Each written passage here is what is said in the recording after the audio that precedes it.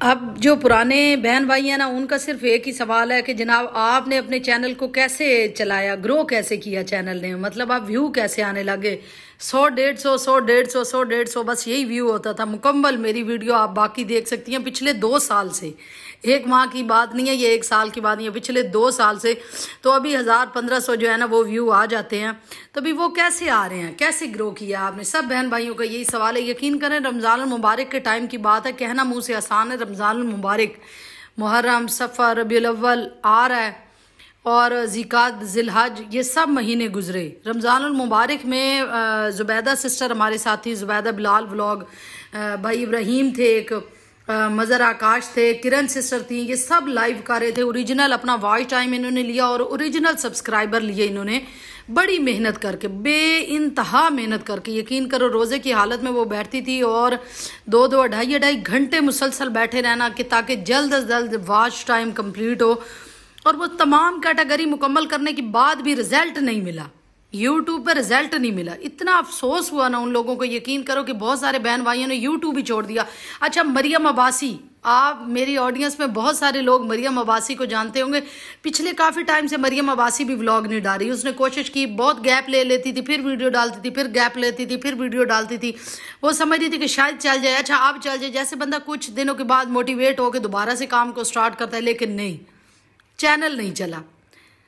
Channel ने इतनी जलील किया हुआ है ना कि मतलब चैनल नहीं चला। भाई, क्या हो गया? ये कि इतनी प्यारी यूट्यूबर थी, छोटे प्लेटफॉर्म से वो बात कर रही थी। वो कह रही थी कि इतने अच्छे बड़े यूट्यूबर तो व्लॉग बना ही नहीं रहे। जितना अच्छा व्लॉग हम लोग बना रहे हैं तो आप भाई हमारा तो नहीं देख रहे। तरफ़ खान व्लॉग आप देख लें। आप, नादिया किचन को उसने उठाई रखा है काफ़ी टाइम और आप जनाब तरफ़ खान का व्लॉग जो है वो चल गया। बहुत सारे लोगों का चैनल चला है अच्छा चैनल चलने की वजह क्या है? हमने आज के डिस्कस ये करनी है आज के इस व्लॉग में। अस्सलाम वालेकुम बेरी यूट्यूब फैमिली कैसे हैं आप सब? उम्मीद है आप सब खैरियत से होंगे। अलहमदिल्ला मैं भी खैरियत से हूँ। आप देख रहे हैं vlog Faisal and Yasmeen welcome हो गया जनाब आपका व्लॉग फैसल एंड यासमीन में। मैं और फैसल साहब निकले हुए थे जनाब। कुछ बेकरी का सामान हमने लेना था। चाय हम बहुत ज़्यादा पीते हैं, ख़ास तौर पे मैं और मेरे साथ फैसल साहब डबल में आदत हो गई है उन्हें, वो भी चाय बहुत ज़्यादा पीते हैं। ऑनलाइन अपना काम करता रहा और साथ में ना आधा आधा कप उनको चाय वक्फे वक्फे से चाहिए होती है।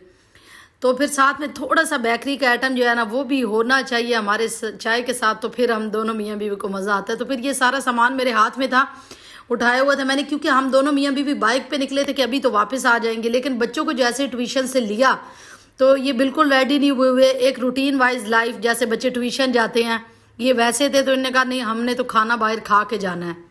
पहले आप हमें खाना खिलाएँ। अच्छा ये जिस होटल पे हम सेफ़ फ़ूड पे आए हैं ना, यहाँ सदर में, ये चूड़ चौक के पास है और इनकी जो टीचर हैं, वो यहीं रावलपिंडी कमर्शियल मार्केट सॉरी वो ब्रिटिश होम में, उनका घर है। तो जब ये वहाँ से खड़े होते थे ना तो इसकी तमाम लाइटें और दीवारें, मैं बाहर से आपको इसका व्यू नहीं दे सकी, वो नज़र आती थी ना। तो कहते थे कि हमने अब इस बड़े होटल में जाना है खाना खाने के लिए। तो बस हम बिस्मिल्लाह करके बच्चों को यहाँ ले आए, बगैर तैयारी के, बगैर कुछ तैयार हुए।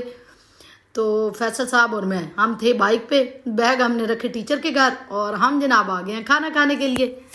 मुझे अपने लिए राइस पसंद है, मैंने वो मंगवा लिए और फैसल साहब ने चरगा मंगवा लिया और बच्चे सिर्फ़ हमारे साथ चुकते रहे, कभी कोई चीज़ तो कभी कोई चीज़। अभी आप आगे वीडियो में चल के देखेंगे, जब खाना आया है ना तो इन लोगों ने हाफ़ हाफ़ आइसक्रीम अपनी डिले कर दी, वो भी छोड़ दी कि अब ये नहीं हमें चाहिए, हमें खाना चाहिए। और जब खाना सामने आ गया तो वो भी इन्होंने कोई एक एक, दो दो स्पून लिए बस, जैसे बच्चे करते हैं, आपको अच्छे से पता होगा। तो ये फैसल साहब की पसंद का आया है चरगा और राइस की प्लेट जो है वो मैंने सेवर फ़ूड वालों से मंगवाई है। इनके राइस भाई बहुत मशहूर हैं और बहुत अच्छे हैं रावलपिंडी में। अल्लाह ताला सबके दस्तरखानों में बरकत दे, सबके रिजक में बरकत दे, सबके रिजक में आसानियाँ दे। बहुत शुक्रिया। अगर आपको इस पॉइंट पे वीडियो अच्छी लग रही है तो प्लीज़ इसे लाइक करते जाएँ और अगर आप चैनल पर नए हैं तो चैनल को सब्सक्राइब कर दें। जी जनाब तो हम बात आज कर रहे हैं कि अपने चैनल को हमने ग्रो कैसे किया। तो मैं आपको बता रही हूँ कि बहुत सारी सिस्टर ऐसी थी जो लाइव सेशन मेरे साथ करती थी, रमज़ान मुबारक के टाइम से। मेरीन अब्बासी जैसे बंदे अब वो चैनल छोड़ के चले गए क्योंकि चैनल ग्रो नहीं किया। अच्छा इसकी वजह क्या थी? पंजाबी की कहावत यकीनन सबको सब लोग जनाब जो है ना, वो चले गए हैं तो अब हम लोग जो हैं, वो रुके हुए हैं चैनल पे तो इसकी वजह क्या है? अच्छा सब लोग मेरी तरह दो साल से यही कोशिश कर रहे थे कि हम अच्छे से अच्छा दिखाएँ मतलब कुकिंग अच्छी होनी चाहिए, खाना पीना अच्छा होना चाहिए, बच्चों की ड्रेसिंग अच्छी होनी चाहिए, बच्चों की लंच बॉक्स दिखाई जाए, बच्चों की तैयारी दिखाई जाए, अपने घर की साफ़ सफ़ाई दिखाई जाए, एक ओरिजिनल लाइफ दिखाई जाए। लेकिन मजाल गई कि हमारे चैनल को किसी ने सब्सक्राइब किया हो, किसी ने देखा हो, पंजाबी की कहावत आपको सुना रही थी कि हम वो लोग हैं जो चारपाई के एक पावे से लेके दूसरे पावे तक चलते हैं। बड़ी आसान सी कहावत है, चारपाई के एक पाए से लेके दूसरे पाए से चलने तक हम वो लेडीज़ हैं। ना तो हम एक्टर हैं, ना हम कोई गुलकार हैं, ना कोई हम वो जो फ़ोटो शूट करती हैं ना, वो हैं मतलब हमारे कोई लेवल ही नहीं है ना यार। मिडिल क्लास फैमिलियों के लोग आए हैं, अगर चैनल ग्रो करवाने तो कोई मकसद होगा, कोई पर्पज होगा, आप चलेंगे। अच्छा यहाँ पर बहुत सारी सिस्टर ऐसी हैं, जिनके अंदर अलहमदिल्ला इतनी काबिलियत थी, सलाहियत थी, उनके चैनल बहुत अच्छे थे, इस वजह से क्योंकि वो हैक का चैनल चला रही थी। वो जनाब आपको सिखा रही थी ब्यूटिशियन के सिलसिले में कुछ सिखा रही थी।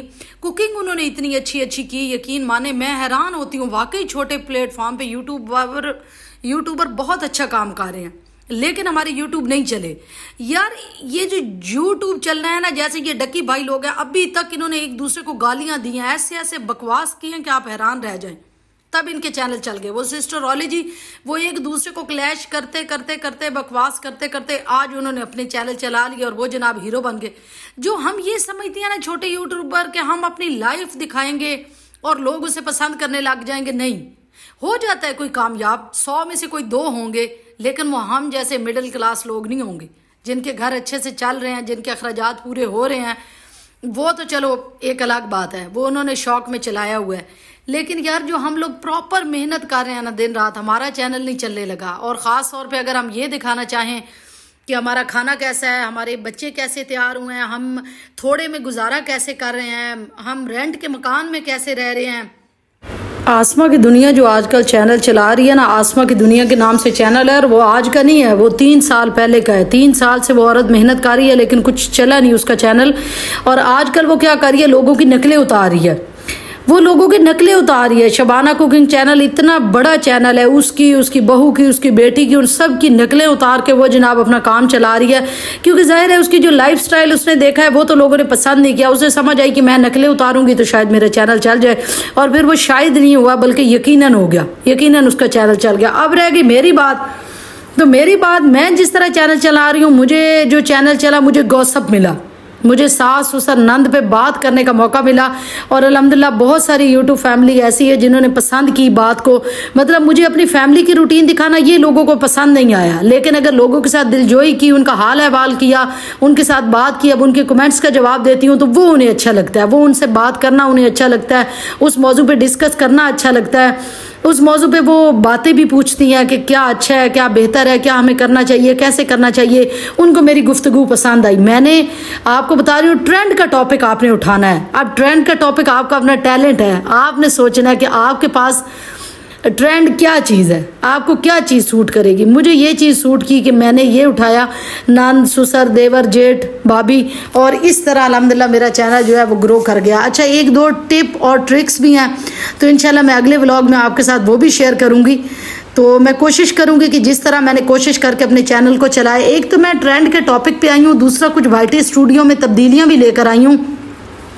ज़ाहिर है एक ही ब्लॉग में तो अब मैं आपको सब नहीं बता सकती थी कुछ शहर रिंद ने बताई थी। और शहर रिंद को बताए हुए अभी आ, तीन माह से ऊपर टाइम हो गया है। और अब आके मुझे लगता है कि शायद उसी की बताई हुई बातों को हमने अच्छे तरीके से जब अप्लाई किया है तो अलहमदिल्ला वो चल गया है ना।